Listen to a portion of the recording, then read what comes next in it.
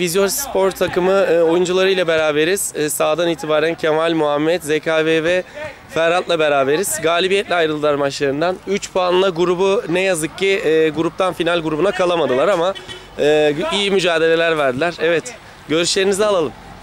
ZKV Bey sizden başlayalım. Öncelikle bu organizasyonu tertip eden başta sayın hocalarımız Faik Köksal ve Erkan Köksal hocalarımıza candan teşekkürler ederiz. Aynı zamanda yine hocalarımızdan Mahmut hocamız da aynı şekilde bu turnuvada bizlere bir arada olma şansı verdiği için çok çok teşekkür ederiz. Ayrıca yine hakemlerimizle birlikte çok güzel dostluklar edindik. Hepinize ayrı ayrı teşekkür eder. Arkadaşlarımıza sağlıklı günler temenni ederiz. Teşekkür ederim. Çok teşekkürler. Arkadaşlar sizler neler düşünüyorsunuz? Buyurun Muhammed Bey sizden başlayalım. Valla tesisteki önce başkanımıza e, ve bu halı saha organizasyonunu düzenleyen e, abilerimize e, teşekkürlerimizi e, minnetle bulunuyoruz. E, bütün arkadaşlarımızla tesis içerisinde kaynaşmamıza vesile oldular. Bizim için bir güzel bir organizasyon oldu.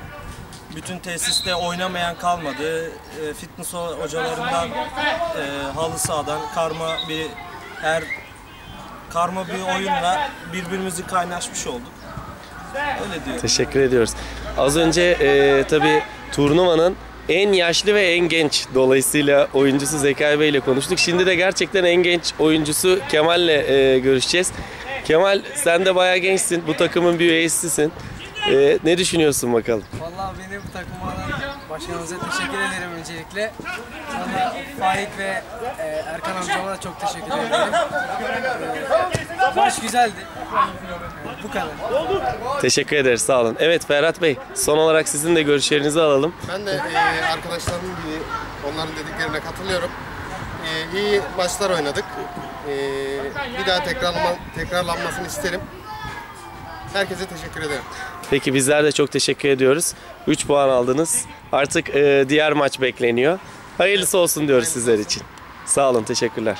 Teşekkür ederim.